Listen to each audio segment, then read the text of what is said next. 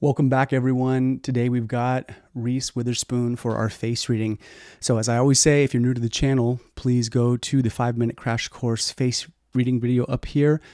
That will give you a nice overview of how this works. But again, if you're a first time viewer, please go watch that.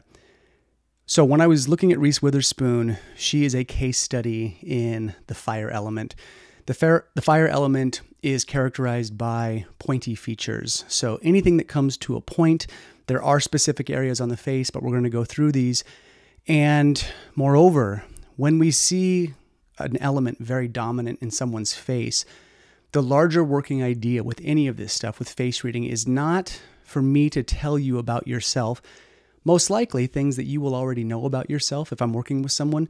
It's not just me saying, Oh, you're this way, and the person nodding and saying, Yes, I am that's great. That's wonderful. We all want to hear about ourselves in some capacity. But when, when we see a, a predominance of an element in someone's face, or we see these big dominant features, my job as the face reader, as the person who's guiding you towards life nourishment, or if I was working with Reese Witherspoon, is this idea that yes, you have these attributes, yes, you have these traits that we're seeing, and maybe you can confirm them for me.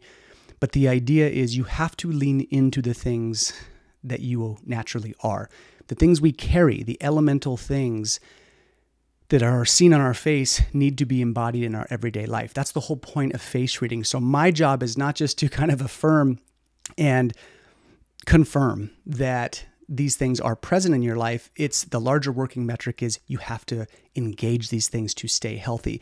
Because if we're not, we're in a state of unnaturalness uh, to a degree, right? We're not going to be doing the things that we're naturally wired to do.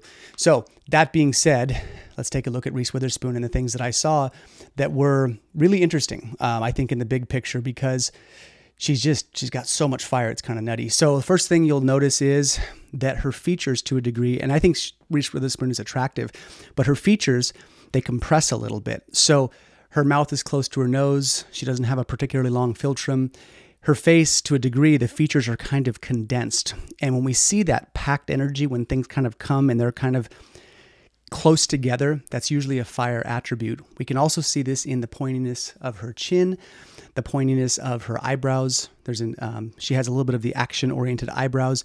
Her eyes, when she smiles, they kind of angle up, and we see these pointy-like features. But collectively, even the tip of the nose is kind of pointy. And so the other thing with fire that we're looking for is that when a person smiles, that things wrinkle up. So if you look at her face when she smiles, even a small smile, she gets these dimples that kind of show up. So we'll see this as, as I've said before, an attention marker, meaning that the person is to a certain degree in some capacity wired for attention. So she has these even when her face is at a relaxed smile of sorts. So fire element, again, present across the board. Now, the thing that's interesting when we see a person with a lot of fire, the fire themes that, that go with that, okay, the elemental rhythms, the lifestyle rhythms are social activity, laughter, joy, ecstasy, bliss, social activity, being in environments with stimulation, being in spaces where we are activated, we're talking, probably laughing, probably having a good time. So you want to think quintessential fire elements are something where you are in the social sphere.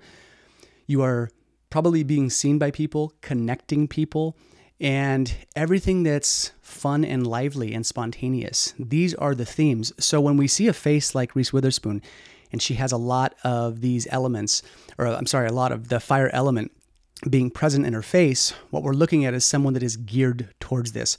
So, in terms of life nourishment, when I look at Reese Witherspoon, she's a person who is obviously a movie star. She's on screen, she's doing all of these things. So, in terms of people who naturally fit into that space, she is fulfilling that.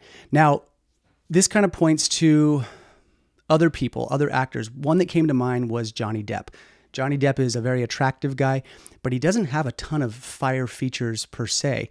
And that activity and that spontaneity and you don't have to have a you know this this big storehouse of fire to be an actor but you can see that on his face someone like that that those rhythms are probably a bit more difficult. And if you read about Johnny Depp he's definitely a bit more of a recluse and he has uh, a more introverted personality and those social metrics on his face are not as as dominant. So it's not to say that if you know that that certain features are going to mean that you're going to be an actor. That's not the way to think about it. It's prob it's probably I think a better way to look at it is how do those features fit into relation to what you're doing? And so I'm guessing Johnny Depp would probably have a bit more conflict internally with these things. He still does it, he still loves it. But the way to think about these things is that these features are going to predispose you to certain rhythms. If you engage those rhythms, that's great. They're going to help you stay alive longer. They're going to nourish life. They're going to nourish that which you naturally are, and that's a good thing. But that doesn't mean that if you don't have these features, that you can't engage those things. You still need to engage life, you still need to activate. All it really points to is that you might have a little bit more resistance in that process. But resistance isn't always bad. It just means that that's the way it's going to go for you. We're all going to have resistance somewhere. So, with Reese Witherspoon, the thing that I liked about her face was all these fire features. She is in Hollywood, she is a movie star but she has the markers of someone who is very playful. So, the other big thing with the fire element, one of the markers that you can see on the face is someone who is capable of making a lot of facial features, someone who is good at making faces. So, as I was scrolling through, there were a lot of pictures of Reese Witherspoon making a lot of quirky, weird faces. And so you can see in just a, a few of these as I cycle through, she has that capacity to mimic and to, you know, contort her face and to do weird things with the face. So if you have someone in your life who is able to make faces, who uses their face in a very expressive manner, a person who gets a lot of wrinkles when they contort and move their face, this is all fire predisposition metrics. And that's the way to think about it and to look at it. So I think that's great. You know, for someone like this who's doing this kind of thing, she fits very well. And she characteristically, you know, with fire element people, because their features scrunch a bit, they can be kind of like off center pretty or off center attractive because it's not always the technical symmetrical norm, but she, it works for her. She has a lot of charm and a lot of wit, and she carries a lot of something called sparkling peach luck, which is the fire element peach luck, which means that a person needs to essentially glow, be warm, be active, be social, and that's going to be the thing that will bring lucky scenarios into your life. The other thing that I found kind of interesting, which balances her out in some capacity, is this big, broad, open forehead, which is a water feature. So you want to think in the elemental rhythms you know, water extinguishes fire. So you could say, well, that's an elemental conflict given how dominant her forehead is. It's also indicative of an open mind. But with all of her fire features, having that big, broad water forehead also sort of simmers or extinguishes a bit of her fire dynamics, which is not a bad thing. Typically, when we're looking at the five elements, you don't necessarily want an element that's going to extinguish or destruct another element like this one, fire and water. But because she has so much fire, that big solid water feature is sort of like a fail safe. It's something that kind of decompresses and lowers that fire element, but also balances it. So it's a it's a nice harmony to see in her face. So the thing to remember again with these features is for yourself, if you're looking at people, the way you want to think about this stuff is that your features are sort of like a signpost. They're like a ding ding ding ding ding ding you need to engage the things that your face carries. And in addition to that, those lifestyle metrics expand, they extrapolate as you go out. So, even in terms of feng shui, you know, if people work with me privately and I take them on as a lifestyle client for a prolonged period of time, I use that face as a template to build out their lifestyle parameters.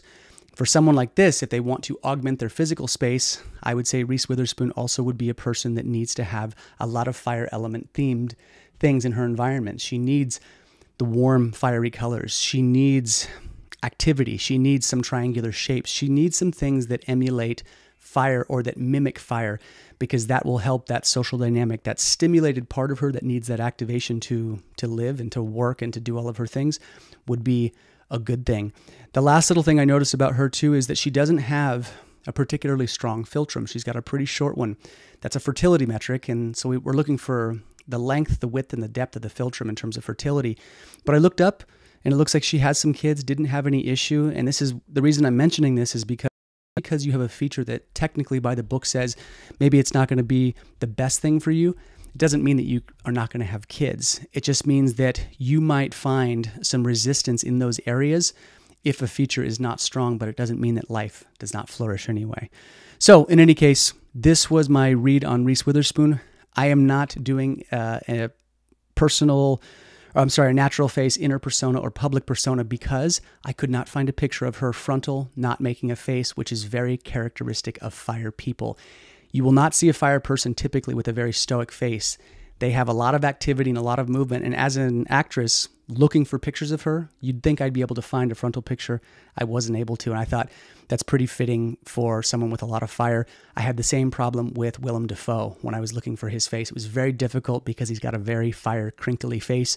So that's what it is. But that's my read on Reese Witherspoon. If you guys would like me to read someone else, please let me know. And thanks for tuning in as always.